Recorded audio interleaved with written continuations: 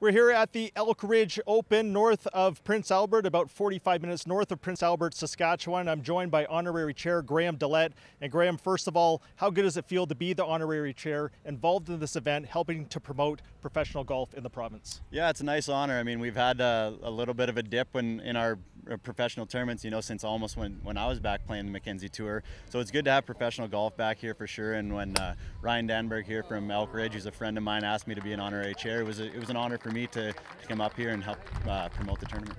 So, as far as the golf course goes here at Elk Ridge, what can you tell me about the layout and what the golfers are in store for?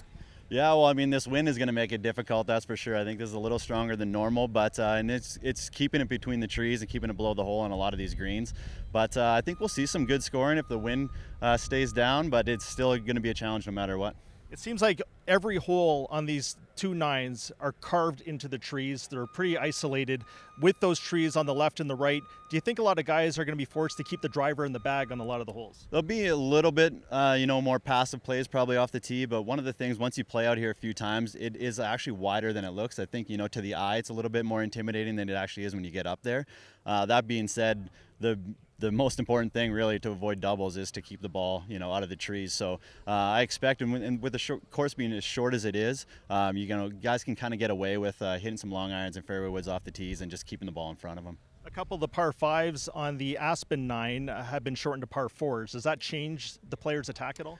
I think it just changes the mindset a little bit. You know, it's when you got like a kind of a gimme, it's nice to make a birdie, move on to the next, and now all of a sudden you're grinding to make a four and a par, and you know mentally that's a little bit different, but it is the same for everyone, obviously. And uh, you know the score to par will come down. Like I think you know someone asked me last night, what do you think someone's going to the winning score is going to be, and I said probably about 20. But you take away six of those par fives, and now 14 under makes the golf course look like it's standing up a little bit, a little bit better. Much like last week at the Brudenell River Classic, this is a 54-hole event. You can't win a tournament on the on the first day, but in a shortened tournament, you can lose it on the first day. How, how important is that quick start? Yeah, no question. I mean, it's like I said, it's avoiding all those big numbers out here. That's like you know, the, whoever wins this golf tournament is going to be you know playing smart and keeping the ball in front of them, and you can kind of just plot your way around this place. And you know, trying to force it, I think, is when guys are going to start getting into trouble. And just to finish off, obviously charity is a big part of this. Uh, tell me about the Graham and Ruby DeLaet Foundation and uh, what it means to be involved that way. Yeah, that was a nice thing with uh, Ryan Danberg had mentioned that we could, you know, the, the proceeds could go to uh, our foundation. And, uh, you know, in Saskatchewan here, we've done a lot for uh, the Children's Hospital and for junior golf. And that's where the, any money that we get will go right back into the province. All right, good stuff. And the first round of the Elk Ridge Open goes on Thursday.